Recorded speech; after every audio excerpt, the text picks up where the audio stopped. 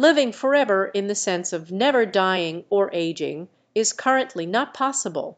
While advancements in medicine and technology have increased our life expectancy, there are still biological limitations to human life.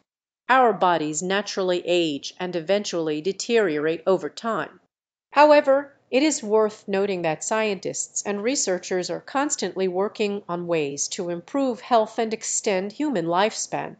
Through various approaches such as genetic and regenerative medicine, there may be ways to slow down aging or find solutions to age related diseases in the future.